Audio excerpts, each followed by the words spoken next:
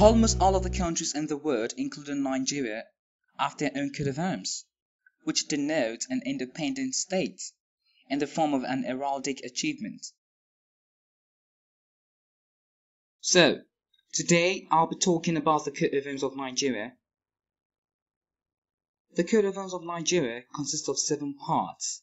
There is an eagle, which represents the strength of the country, a black shield, representing Nigeria's fertile soil, a wavy white pall on the black shield, an iconography of the Niger and the Benue rivers meeting at Lokoja.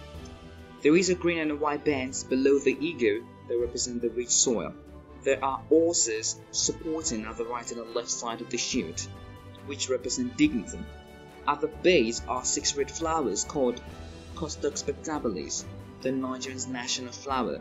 Its inclusion in the coat of arms is because it is found all over Nigeria and it stands for the country's beauty.